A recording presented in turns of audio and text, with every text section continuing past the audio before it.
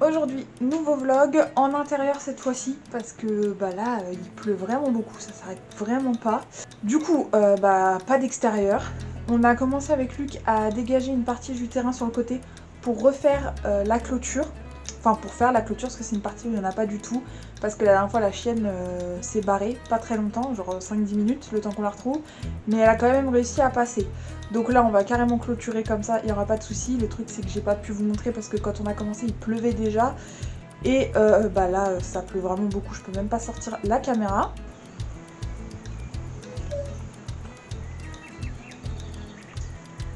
Et du coup aujourd'hui mission confiture. Donc, euh, on a un pied de rhubarbe derrière la maison. L'année dernière, j'ai pas pris le temps de m'en occuper. Et du coup, cette année, bah, je voulais m'en servir. Tant qu'à faire, il est là.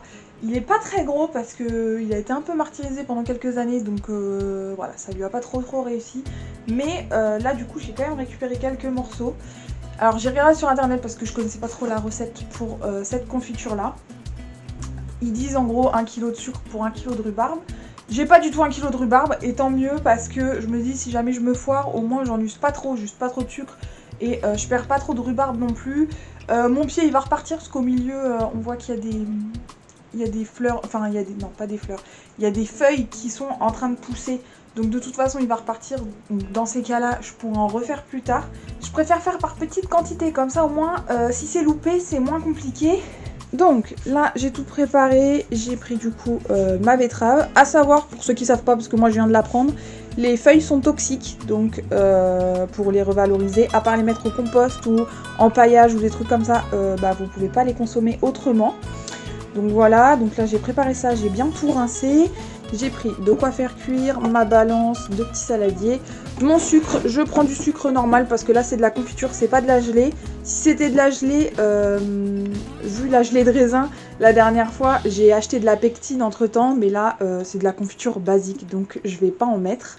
Du coup, première étape, il va falloir éplucher euh, les tiges de rhubarbe.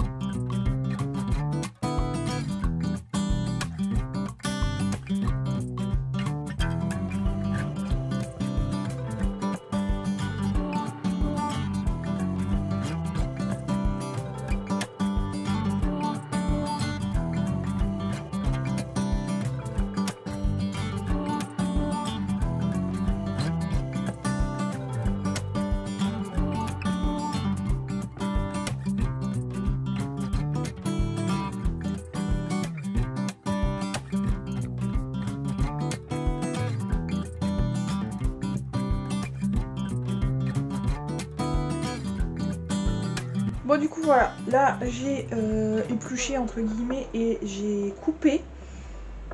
Alors autant euh, je connais le goût de la rhubarbe et tout, j'ai souvent mangé de la confiture de rhubarbe. Autant je savais pas que c'était aussi filandreux quand, euh, bah, quand on la prépare de base. Voilà c'est tout, c'était juste la petite observation. du coup en faisant ça, là on va peser pour voir combien il y a.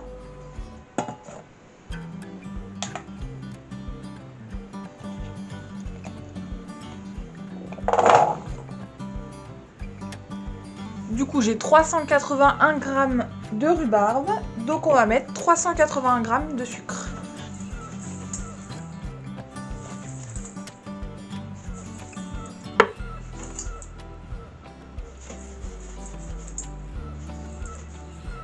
Et ensuite, je rajoute euh, un peu de citron. Alors, je sais pas du tout l'effet du citron euh, sur la rhubarbe, je sais pas si c'est niveau de l'acidité ou pas, mais je pense pas parce que le sucre il va déjà bien casser l'acidité.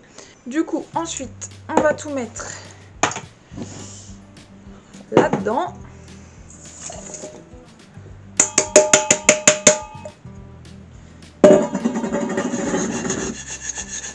Ça, du coup, on va mettre à chauffer, on va porter à ébullition jusqu'à ce que bah, ça donne de la confiture et je reviens après une fois que c'est fait. Bon, alors voilà ce que ça donne une fois que c'est bien cuit. Euh, en gros, j'ai laissé, à partir du moment où c'est monté à ébullition, j'ai laissé 10 minutes. Voilà, donc là ça m'a l'air plutôt pas mal. Je vais me dépêcher de mettre en pot.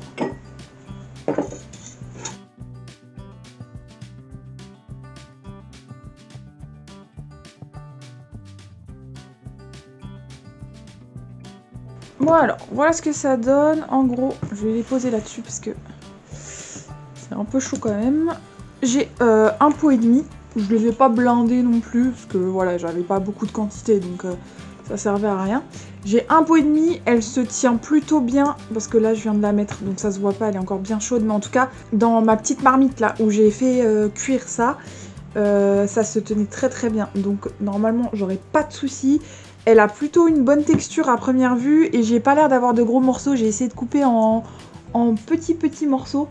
Euh, voilà, pour éviter euh, bah, les gros morceaux. Puis en plus de ça, ça cuit plus vite. Donc euh, bah, il n'y aura plus qu'à goûter, mais en tout cas, je suis plutôt contente pour l'instant. Donc voilà, une bonne chose de faite. Alors j'espère que vous aurez vu à peu près clair parce que la luminosité ici est pas terrible. Je suis en face de la, de la fenêtre, mais j'ai quand même des ombres parce que... Bon bref, c'est un peu une galère. Donc j'espère que ça ira quand même. Sinon, les semis commencent à bien prendre. Je suis plutôt contente. Donc je vais vous montrer ça. Du coup, là on a les plants de poivrons qu'on a repiqués ensemble la dernière fois. Alors je sais pas si vous allez voir. Par exemple, sur celui-là, on voit qu'il y a des petites feuilles qui sortent bien là. Donc je suis grave contente, vous voyez. Il y a les premières petites feuilles et tout. Donc là, ça pousse plutôt bien, malgré que je puisse pas les mettre dehors, parce que bah, le temps est pas terrible quand même. Et euh, dans les semis qu'on a fait ensemble la dernière fois, alors là, vous allez rien voir, c'est sûr. Alors, en gros, j'ai les trois là. 1, 2, 3.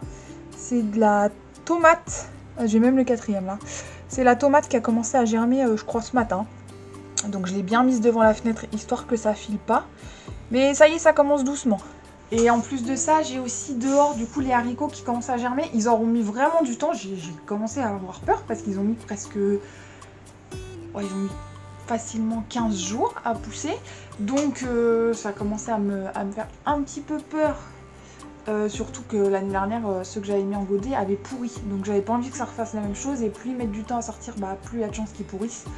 Mais là, à première vue, c'est bon, c'est parti. Donc tant mieux. Sinon, tant qu'à faire, on va faire un point parce que de toute façon, je vais rien pouvoir vous montrer de plus, je pense, dans ce vlog. Mais on va faire un point. On a pas mal de choses à faire dehors avec Luc. On a déjà tous les buissons à retailler, ceux qui sont taillés en temps normal. Il faut absolument qu'on les refasse parce que là, ils ont bien repoussé. Euh, du coup, sur le côté de la maison, il faut qu'on fasse la clôture. Il y a à peu près une dizaine de mètres de clôture, c'est pas énorme, mais il faut quand même le faire. Là, on a acheté tout ce qu'il faut. On avait euh, allez, 90% de ce qu'il nous fallait, mais il nous manquait 2-3 trucs, donc on, est déjà allé euh, le chercher. Il n'y a plus qu'à poser la clôture. J'aimerais beaucoup que là où on a les fraisiers, donc le massif devant la maison où on a les fraisiers, redéblayer tout ce qu'il y a derrière. Ça a tellement repoussé, c'est un enfer. Parce que j'ai comme idée de faire en sorte que tout le massif devienne euh, une fraiserie. Tout simplement parce que bon, en fait ce serait bien plus chouette, ça ferait beaucoup plus de fraisiers, je pourrais les laisser se multiplier correctement et comme ça euh, les, fraiseries, les fraisiers pardon, les plus vieux seraient remplacés par des plus jeunes, etc. Ce serait vraiment plus, chouette. Donc il euh, y a ça à faire et je pense qu'il y aura pas mal de taf pour nettoyer cette partie là. Du coup, il y a le potager à finir de désherber. J'ai pas avancé avec le temps et avec euh, ce qu'on avait à faire à côté. J'ai pas avancé le désherbage, c'est pas grave. On va essayer de pas se mettre la pression. Ça va se faire au fur et à mesure, je vous ai dit, il y a une partie qui va être prioritaire et si le reste n'est pas fait cette année, c'est pas grave, on va serrer les plans, on va se débrouiller.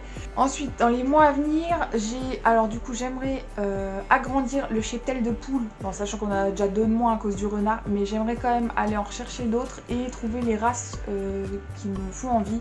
Je cherche de la favrole et de la marran, mais dans le coin, je ne trouve rien du tout. Donc faut que je vois pour ça et euh, je voudrais voir pour faire deux parcs un parc du coup comme c'est actuellement côté jardin, à côté du potager, pour, euh, bah, pour entretenir. Et un autre parc pour entretenir toujours, mais euh, côté euh, de Yoko. côté bas du terrain, comme ça, ça nous évite, comme on peut pas y aller avec la tondeuse parce que le terrain est enfin, pas du tout adapté, Euh, là actuellement je fauche l'herbe un peu tous les jours pour euh, en donner à tous les animaux et ça permet de, bah, couper, hein, d'entretenir. Mais c'est vrai que le terrain est vraiment grand donc d'ici que j'arrive au bout, euh, la première partie que j'ai fauchée, ça aura repoussé de 2 mètres je pense. Et aussi j'aimerais faire l'enclos pour Yoko, là je, je m'y suis bien mise, j'ai regardé... en fait, je pense que je vais lui faire un enclos. Je suis obligée d'électrifier parce que sinon il va tout me dégager, c'est sûr. Et le problème, c'est que j'ai peur que dans les fils, il, arrive à me passer la tête et que ça parte en cacahuète. Donc je vais mettre des fils et derrière, je vais remettre une clôture. Mais comme tout le reste, je veux un truc mobile. Donc je suis en train de réfléchir à comment je vais faire ça. Euh, je veux un truc mobile pour que l'été, euh, bah, si j'ai envie de le mettre en bas du terrain pour qu'il aille débroussailler le bas du terrain, et eh bah je peux le déplacer.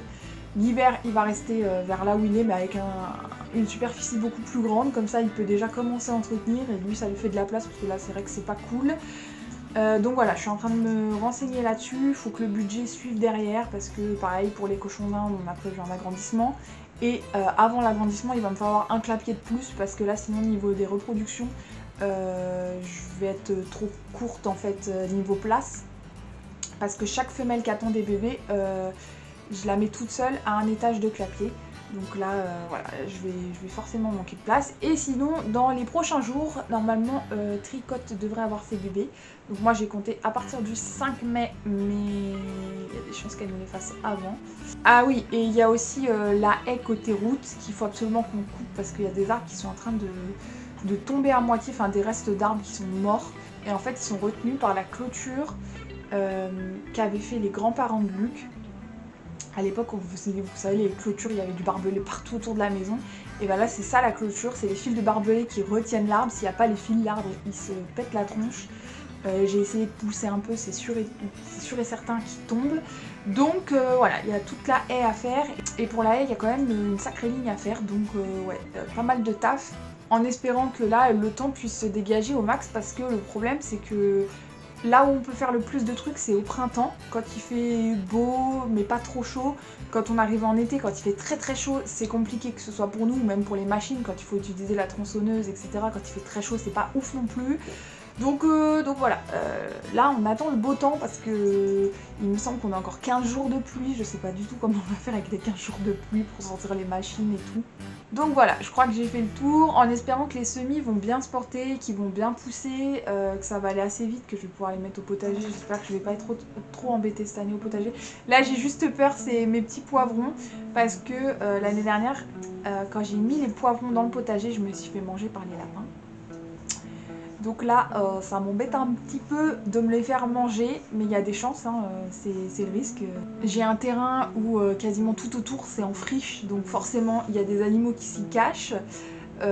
donc il y a des chances que je me les fasse manger. Si je me les fais manger, il y a des chances que je me fasse manger les haricots aussi, puisque l'année dernière c'est ce qui s'est passé. Donc vraiment ça m'embêterait beaucoup beaucoup. on va croiser les doigts. Si c'est le cas et que je me fais encore tout manger, je pense que je vais investir fortement pour l'année prochaine pour euh, clôturer le potager correctement. Avec en bas du petit grillage, etc. Pour que bah, pour qu'il y ait le moins d'animaux qui puissent passer. Et si les lapins doivent passer, ils seront obligés de creuser. Donc je verrai où est-ce qu'ils passent euh, dans ces cas-là. Donc euh, voilà, à voir, voir, ce qui va se passer dans le potager cette année. Mais j'espère que, ça va, que ça va fonctionner. Donc voilà, je pense avoir fait le tour. C'était un tout petit vlog, mais encore une fois, il fait vraiment pas beau. Je peux vraiment pas faire, euh, pas faire plus parce que même si je fais des trucs dehors, je peux pas sortir la caméra, ça s'arrête pas une seconde de pleuvoir. Donc euh, en espérant que ça ira mieux pour la semaine prochaine. Du coup, bah, je vous dis à la semaine prochaine dans le prochain vlog.